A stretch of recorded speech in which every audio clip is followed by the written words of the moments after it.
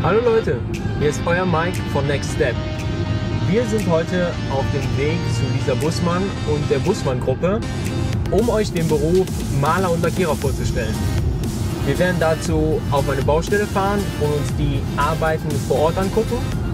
Und wir werden ins Headquarter fahren und dort mit Lisa und ihrem Vater, dem Geschäftsführer, sprechen, um euch den Beruf näher zu bringen und zu entdecken, was am Maler und Lackierer so besonders ist. Viel Spaß dabei!